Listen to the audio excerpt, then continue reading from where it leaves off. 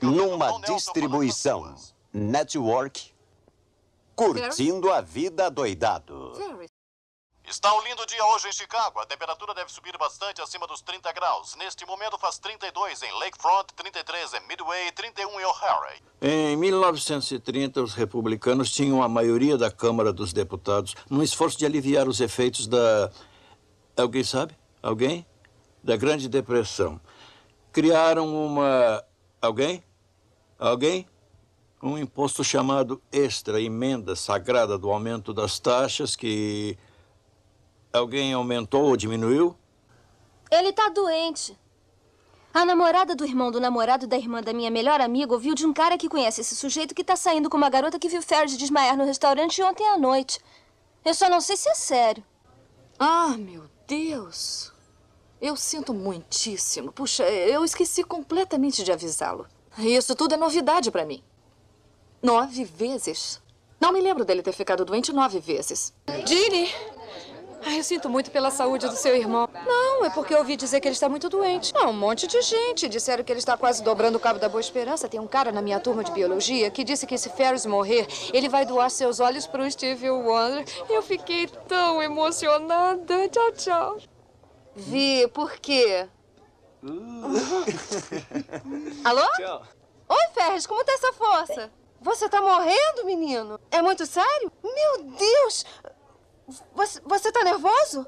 Vai estar tá vivo no fim de semana? Legal, talvez eu te visite. Tchau. Acho que com sua saúde precária devia controlar os nervos. É verdade. Ah, ele faz o senhor de idiota todo o tempo. Bom, é que ele é bastante popular. Os motoqueiros, atletas, intelectuais, baderneiros, baloeiros, todos adoram ele e acham que ele é um cara super legal. É isso. Olá, em que posso ajudá-los? É. Então é Abe Froman, o rei da salsicha de Chicago. Ingênuo rapaz, eu estou muito ocupado aqui. Por que não pega os seus amiguinhos e dá o fora daqui bem rápido? Estou insinuando que você deu fora antes que eu fique nervoso. Saiba que eu admiro a sua compreensão. Obrigado. É, bon appetit. Dave, você tem que considerar a hipótese de aumentarmos a verba. Dave, se você quer vender, tem que gastar. Dave, eu sei que estou correndo risco de te aborrecer com esta conversa, mas eu estou te falando. É- Dave, você é um dos caras mais bem-sucedidos na sua área. Nós vamos colocá-lo na TV. Sonaremos rádio, jornal. Ah, ele Escute aqui, vamos voltar para o meu escritório. Eu vou te apresentar toda a campanha. Nós sabemos que ele tem dinheiro, nós sabemos que ele tem dinheiro. Nós precisamos é gastá-lo. O atacante está a postos, ninguém na defesa. Esta é a primeira atacada desta terceira rodada desde a quinta vitória. É a quarta falta do jogo. Rapaz, eu fico realmente surpreso que eles não tenham tentado esta jogada antes. Mas, de qualquer modo, podemos dizer sem medo de errar que o jogo se realiza num clima excelente. Disseram que você estava muito doentinho. Docinha de cabeça, febre e arrepio. Vim para ajudar a melhorar o seu estado, porque sou uma enfermeira que gosta do seu... Drogas? Eu perguntei se te pegaram por drogas. Drogas. Vai para casa. Você usa muita maquiagem nos olhos. Minha irmã também exagera. Chamam ela de maluca. Não quer falar do seu problema, não? Eu sei qual é o problema. Eu só quero ouvir da sua boca. Ele ameaça minha capacidade de coordenar esse corpo docente de maneira construtiva. Uma influência aos outros da sua idade. Procurando por isso aqui?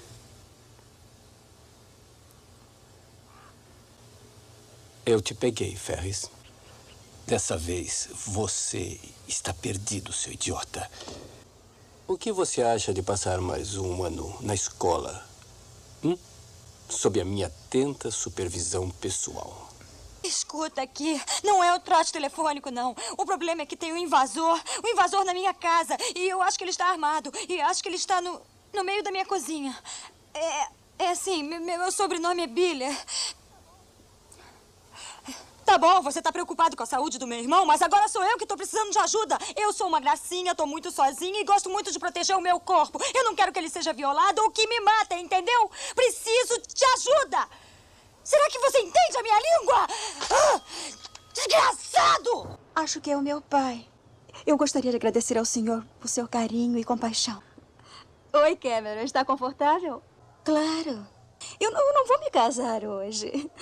Como assim, por que não? Pense no que está dizendo. Ken, por que não vem aqui? Está uma delícia. Cameron, por favor, faça qualquer coisa para você melhorar. Está bem? Ele vai continuar me ligando. Ele vai continuar me ligando até que eu resolva ir. Ele vai fazer com que eu me sinta culpado. Eu. Isto é. Isto é ridículo. Ah, tá, tá. Eu vou, eu vou, eu vou, eu vou, eu vou. É, dro... é droga! Droga! Ah, ah, ah, ah, ah! Bom, eu acho que o senhor devia se arrepender do que fez. Um membro da minha família morre e o senhor me insulta. Que diabos não e você, seu doido? A vida passa muito rápido. E se você não curtir de vez em quando, a vida passa e você nem vê. Não que eu concorde com o fascismo ou com qualquer outro ismo. Na minha opinião, os ismos não são bons. As pessoas não deviam acreditar em ismos, mas em si mesmas. Eu concordo com John Lennon. Não acredito nos Beatles. Só acredito em mim. Eu estou me sentindo 150% melhor, obrigado. Por favor, não me deixe ficar em casa mais um dia. Eu quero ir para a escola. Eu tenho que me formar em junho. Eu quero. Eu. Eu quero. É, eu acho que você tem razão, pai. Pois é. Eu já disse isso antes e vou dizer outra vez. A vida passa rápido demais. E se você não parar de vez em quando para viver a vida, acaba perdendo seu tempo.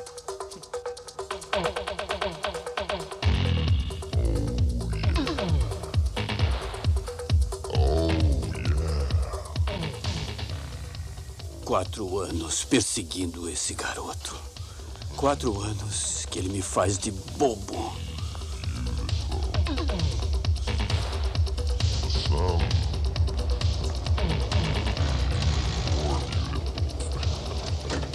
Oi, Sr. Rony. O que está acontecendo? O senhor brigou com alguém? Quer uma carona?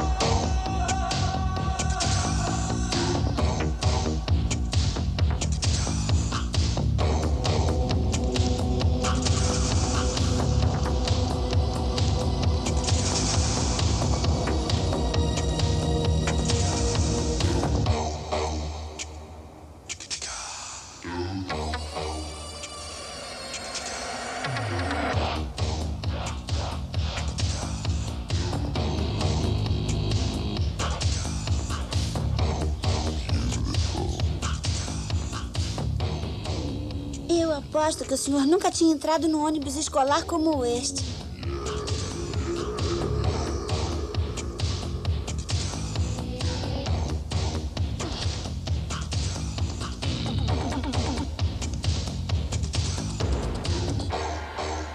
Não tá afim de um chiclete? Ele estava guardado no meu bolso. Tá bem quentinho e macio.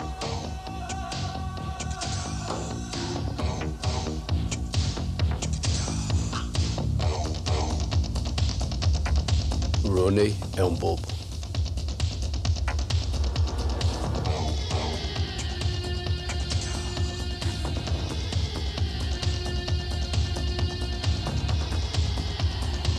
Salve Ferris.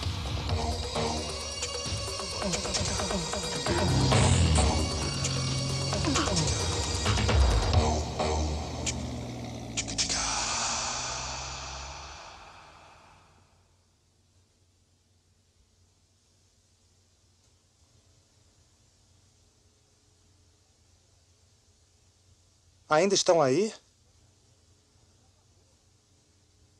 Já acabou. Desliga a televisão.